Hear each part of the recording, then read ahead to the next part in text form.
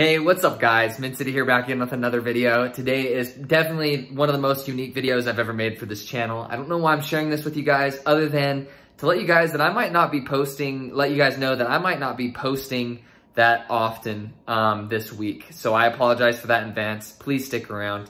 Please continue to support my content. Um, but I'm gonna share with you guys why. So I live in Utah. It was one of the windiest days in my area of Utah there has ever been. I've been through tornadoes and this felt like that.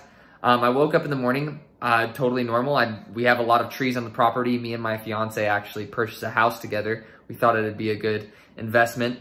And so we had a lot of trees around and I didn't think about it. I, and I walk outside and I come into this. So as you can see, there are trees just completely like huge bits of my trees fell off. It's a miracle it did not um, ruin our roof or damage our house at all.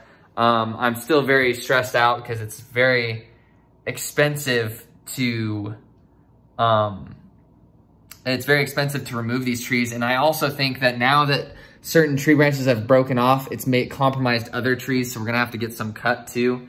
And we have money saved up and stuff, but it's about to be um, pretty, uh, basically money that we had saved up for other things are gonna have to be used to clear off the property. So I don't know why I'm closing and turning off all the lights while I'm on here with you guys, but just wanna let you guys know it's a real deal. I'm not just ditching out on the content this week. I'll still try to put out I, I, it's a stress relief for me, but I just won't have as much time now dealing with all this crap. So Appreciate you guys. I love you guys. Hopefully you guys are staying safe during this crazy time. 2020 just sucks, man, but you guys make it better. Appreciate you guys. Love you guys. Stay safe and take it easy.